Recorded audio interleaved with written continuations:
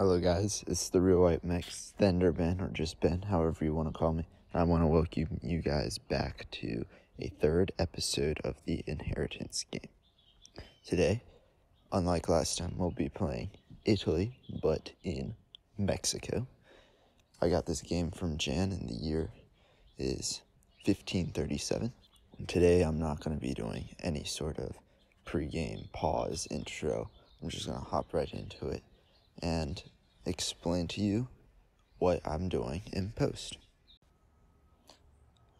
As for the actual gameplay, as you can see here, we're no longer in Europe.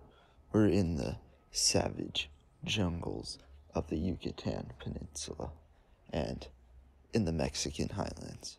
And of course, that can only mean one thing, which is forming Mexico. But before that, I've got to, as you do in all inheritance saves, is see where your country is. And right now, my country, my country's actually much better than it was the last time I got it. I don't have crippling debt. I've got plenty of crown land.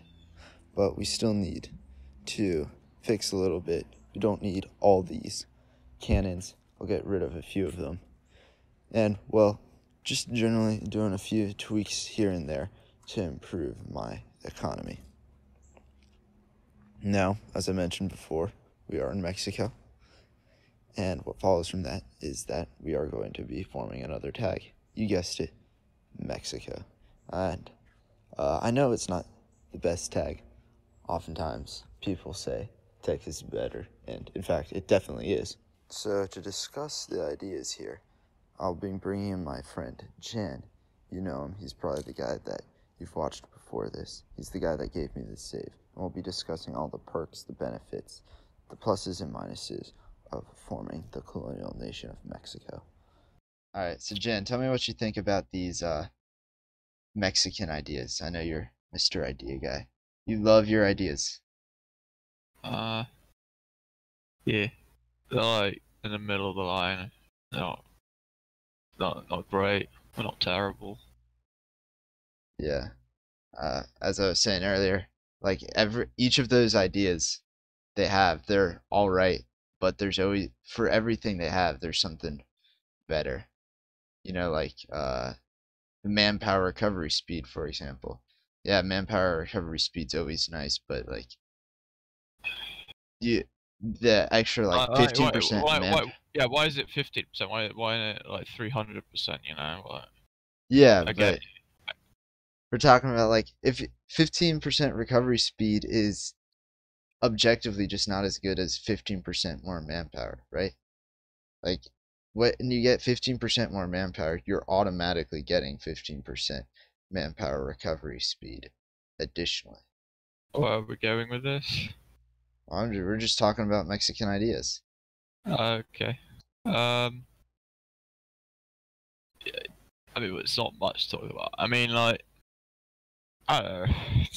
I mean, all right. Amongst like, amongst least, the other like get, at least they get nations. like some mill buffs and eco yeah. buffs and such.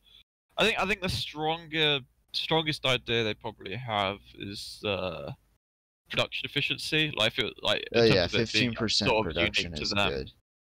Yeah. yeah. I think there's that, that, there's not a lot of countries that get that amount buffed up. Yeah. So that's quite unique to Mexico. But after that, everything like like for single player, like it'll it'll do us fine. I reckon. Like it's not much to worry about.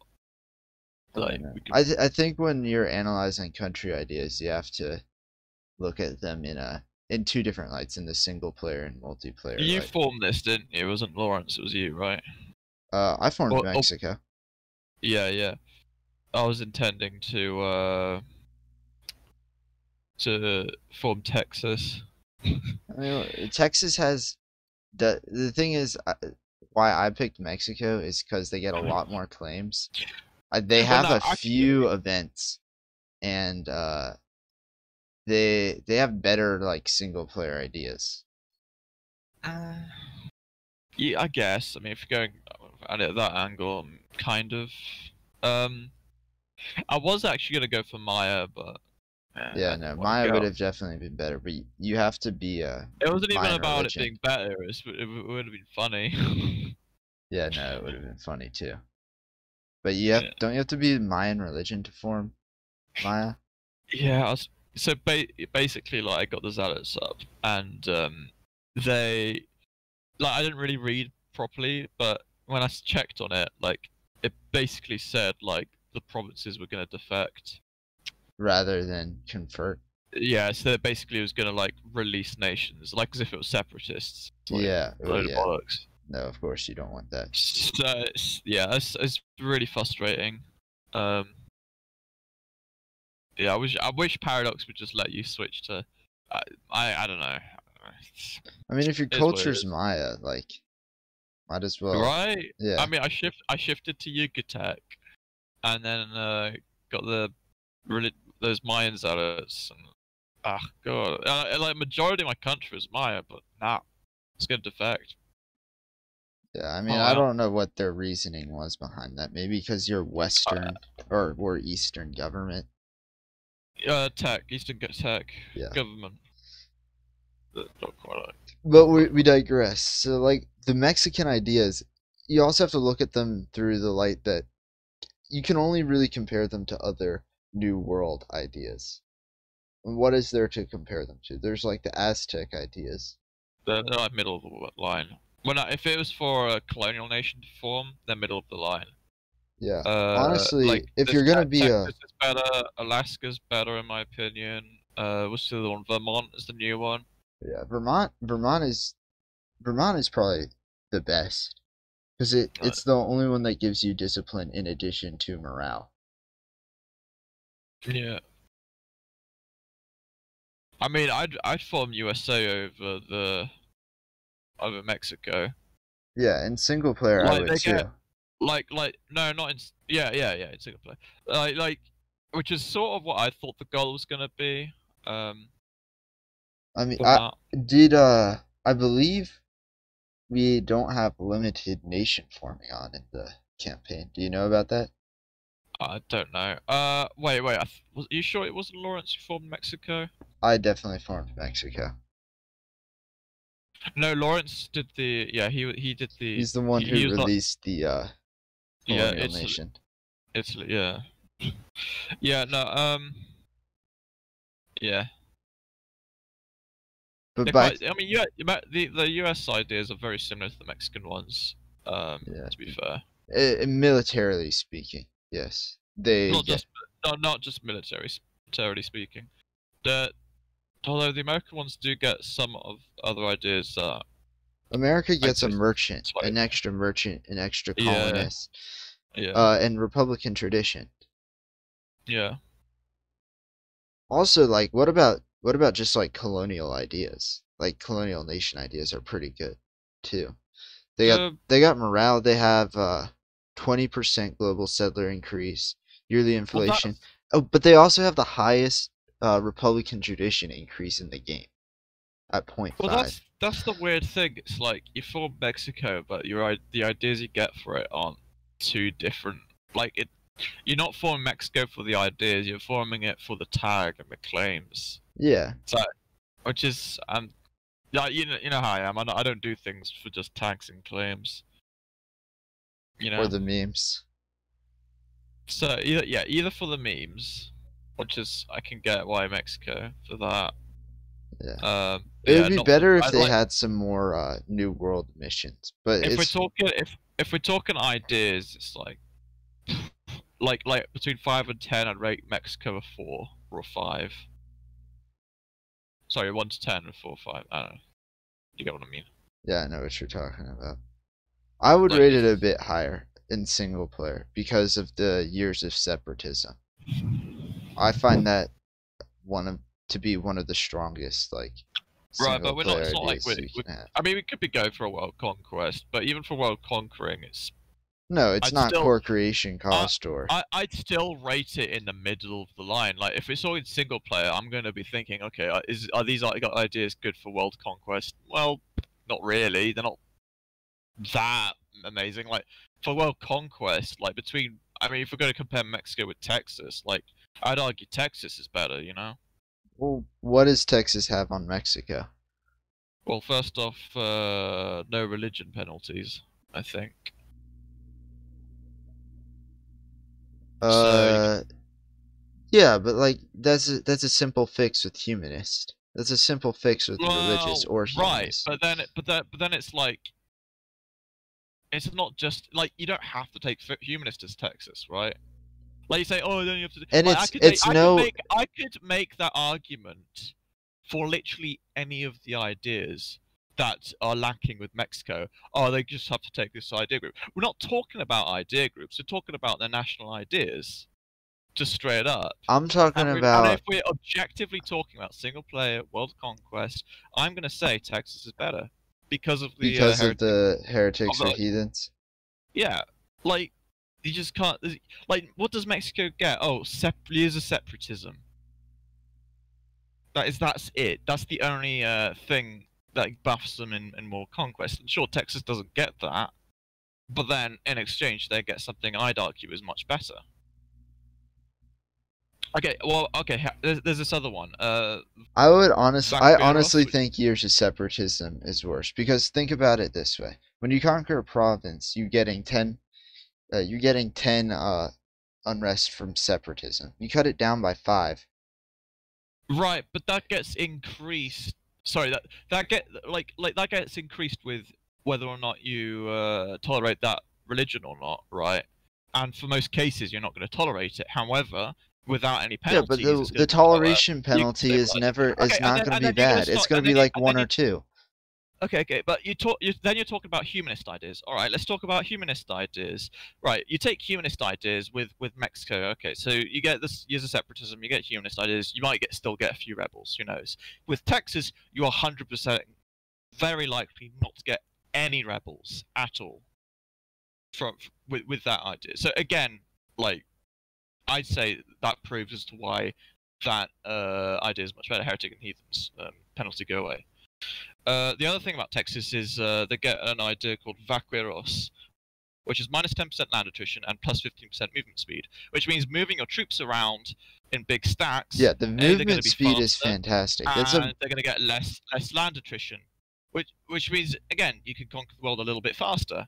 Whilst for Mexico, they don't get anything like that. Yeah, you're right about the movement speed and the attrition. I think that is a better a better reason for the world conquest because yeah. also like, you're saving you're going to be saving a lot more on troops on world conquest plus because of Texan um, uh, other military ideas like land uh, fire damage received, land fire damage uh, given, uh, and then the morale of armies. Like all that together is like you win more battles, or you're more likely to win more battles, uh, you're going to lose less troops in these battles, which means you're going to save on manpower and uh, money. Yeah. Uh, then there's the stab cost. So if you wanted to um, no CB someone and then put your stab up again, like it's cheaper stab, so you're saving on admin, which can be used for coring things. What does Mexico get? They get they get an ideas cost, which I'd say that's pretty decent. But um, by the time you form Mexico, you're already through like two or three of your ideas. You're not quite getting as much from ideas. Well, you're not, you're not even gonna get the idea cost until you've taken twelve ideas mm-hmm. already, which is exactly. one and a half idea groups. Like it, that that that that is much more powerful at the earlier part of the game. Later on in the game, it's still nice, but you're not gonna save as many points. So yeah, objectively speaking. Well, also it depends on your government. If you're if you're uh if you're a like generalist estates or uh, a republic, you're not going to be spending nearly as much on stability as you will on ideas. Yeah, no, I'm I'm only bringing up Texas because like we're talking about alternative reformed and mostly talking about the ideas. ideas. We're we're strictly and, talking and, about the ideas. And objectively speaking, Texan ideas are just better. Of course they are. I think Mexican ideas are much are come much closer in uh in single player in single player only. Hands down, multiplayer ideas. Texan whoops. Right. Mexico I mean, out of the water. uh, for, for single player, I would have gone for Texas as well. Um, yeah, I'd say they're better in single player as well. Maybe in the re- within the region, yeah. Uh, as Mexico, you can unite the region way way faster because you you have twenty five percent for creation cost, and on all those claims too, because right. it's yeah because they're permanent claims. But uh, that doesn't. That's not for the whole world, and I think in the long run, Texas is a stronger nation to go for. For world conquest, yeah. For world conquest, which isn't necessarily something we're going for. I mean, also the yearly inflation reduction is really good because, like, right now we're, I'm I'm sucking up a lot of money to inflation every, every year, and buying down inflation is. Is something I don't know if you buy down inflation frequently, I but do. I do. I do. And the yearly inflation reduction is quite good in that sense. Yeah. Then I think know, that's that, that's that's another one which is like yeah I can see the benefits of. Um, especially in such a gold-rich area of the world. Yeah, yeah. Yeah. All right. Thank you, Jan. Thank you, Jan, for that fantastic discussion about how terrible the Mexican ideas were. But, anyways, back to the commentary of what the heck is going on with Mexico. Two big things happened during that discussion of the Mexican ideas. One was me uh, cleaning up some of the borders within Mexico, and the second was uh, a big war I had with Portugal. What happened in the war with Portugal is that Portugal decided they want some of this sweet gold from the Mexican highlands. And obviously, I wasn't going to let them have it. Unfortunately, Portugal had an army that was about five times as large as mine. And that's not even including their other uh, their other colonies, including Portuguese Mexico and Brazil, that were also trying to invade this independent Mexico. Additionally, Portugal has Miltech army, and so does Brazil. The only advantage that I have is that I am a human player. I'm defending, and uh, most importantly, I'm defending from the other side of an ocean. This is a big problem for Portugal, obviously, because they can only send so many soldiers over as they have transports, and luckily for me, they only have 12 transports in their main fleet. Additionally, my fleet was actually able to pick off some of the Portuguese colonies' fleets uh, to get some cheap war score and prevent some blockading. The war goal was a, a show superiority war goal, I think. Either that or was a province. Either way, I was winning all the battles as I could easily smash the colonies as they were at the same tech level as me, and I could just field more troops than them. And uh, Portugal couldn't send us over as many troops as it needed to. Oftentimes, I would uh, be able to get to the province they were landing on before they were, because they were landing actually so often. Uh, instead of shock or fire being the most important pips on the leaders I had, I was actually looking for maneuver pips so I could get to the uh, get to the border provinces as quickly as possible and get that defensive terrain bonus. There was one crucial engagement off the coast of Havana where uh, Portugal was landing 20 troops along with some of their colonies and 20, I think my maximum troop count at the time was just a little over 20. Given that Portugal was at least two techs, mil techs ahead of me, I really needed to get onto the island or get to the coast before they did. And I wasn't actually going to make it. So I ended up sacrificing my navy to hold to engage in a naval battle for a couple moments before uh, port my soldiers got there, which granted them enough time to let, get to the province the AI was landing on and get a good defensive bonus, which caught, allowed me to break their army and stack wipe them.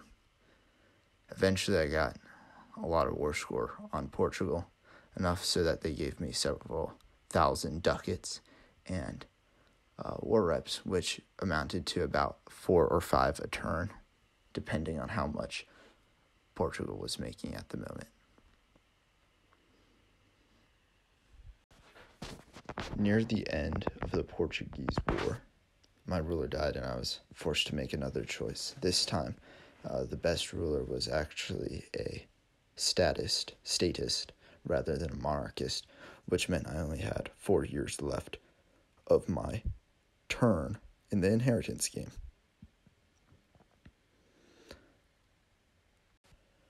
With these four years I had left, I wanted to make the most of them, conquer as much land as possible, and thankfully I was a colony, which meant uh, that I was able to conquer as much land as possible.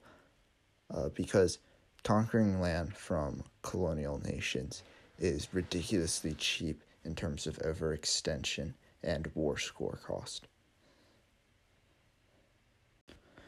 Unfortunately, I had one big problem after the Portuguese War, and that was the problem of uh, religious conflicts. You see, the religion of my country was Protestant, but because most of these uh, provinces around here are not Protestant at Game Start, in fact, they're Mayan or Nahuatl, the religion of the Aztecs, uh, I was suffering terrible, terrible religious unity penalties and was given this looming disaster for most of my post Portuguese War campaign.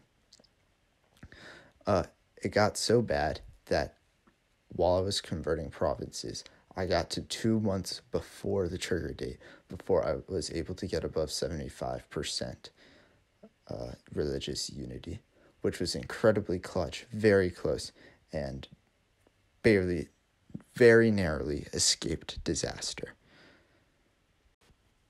Anyways, my first conquest of colonial nations was into Portuguese Colombia. They had some provinces close to Mexico near the Panama Canal, though not the Panama Canal itself, as France owns that actually. But I was able to take their provinces in the Isthmus of Panama, as well as most of their provinces on the northern coast of South America the Colombian provinces, the Colombian and Venezuelan provinces, I should say. With that out of the way, that set me up for a perfect expansion into Dutch Brazil. Uh, I focused all my forces onto Dutch Brazil. They're very easy. They're a colony. Uh, I should mention when you declare on a colony as a New World empire, you do not call him their overlord. So it's just me. I got to wall up on both Italian Colombia, and Dutch Brazil. Unfortunately, it took me a couple years to full siege each of them. And by the time I was finished with Dutch Brazil, my ruler had died. I waited the six years for the time uh, the event timer to take place, and I took as much land as I could from Dutch Brazil. Now I'm leaving the country in a decently good spot for Lawrence. He's got a lot of land, he's got a lot of power, and he's got a lot of new expansion routes. Uh, he's got some problems. He still faces uh, a lot of religious pluralism, though not a looming disaster. And he has a lot of overextension is, and is behind on admin tech. However, I don't think any of these problems are terrible and are very fixable for a skilled player like Lawrence. Anyways, I want to thank you guys for watching all the way to the very end. I hope the audio in this episode is much better than it was for the first episode. And again, if you have any feedback for me, please leave it in the comments, as well as don't forget to like and subscribe, as every YouTuber tells you to do. Goodbye, y'all, and I'll see y'all next time.